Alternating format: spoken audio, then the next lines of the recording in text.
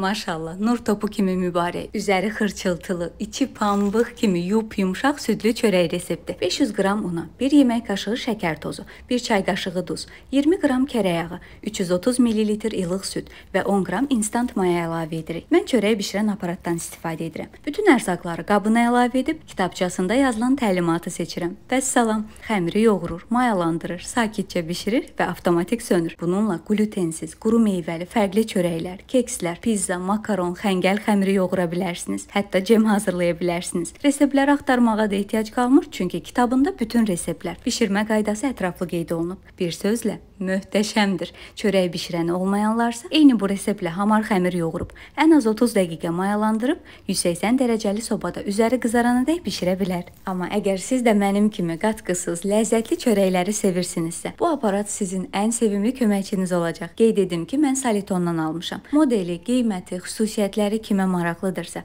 videonun açıqlama hissəsində məhsulun linkini yerləşdirdim. İstəyən oradan baxa bilər. Ümid edirəm ki, bəyəndiniz. İzlədiyiniz üçün təşəkkür edirəm. Hələlik.